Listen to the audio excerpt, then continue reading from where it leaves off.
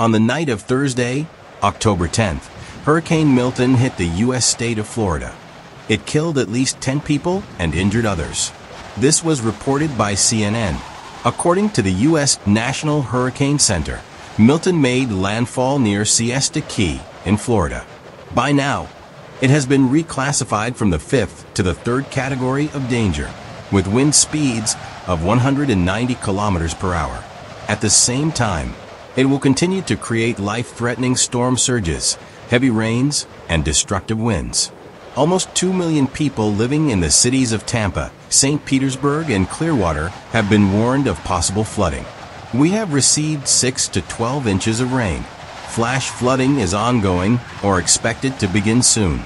Life-threatening flooding will inundate urban areas, highways, streets, and underpasses, the Tampa National Weather Service warned. According to Florida Governor Ron DeSantis, at least 19 tornadoes have been confirmed in Florida and 116 tornado warnings have been issued across the state. It's too dangerous to evacuate safely at this point, so you have to shelter in place and just sit tight, he said. Later, it became known that more than 1.1 million homes and businesses in Florida were left without power as a result of the hurricane. The number of outages is expected to grow as the tropical storm's winds move deeper into the state.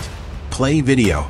In the city of St. Petersburg, almost 23 centimeters of rain fell in three hours.